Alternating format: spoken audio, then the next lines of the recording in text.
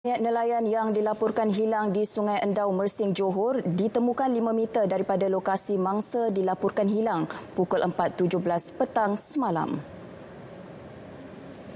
Mangsa Muhammad Al-Syafiq Abdul Rasul 25 tahun dipercayai terjatuh ke dalam laut ketika hendak melompat dari jeti ke bot beliau.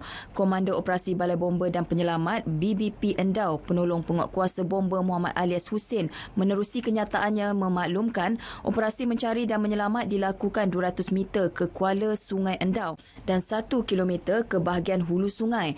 Seramai 18 anggota daripada BBP Mersing, Endau dan Tebrau digerakkan ke lokasi kejadian kejadian. Mayat mangsa diserahkan kepada pihak polis untuk tindakan lanjut.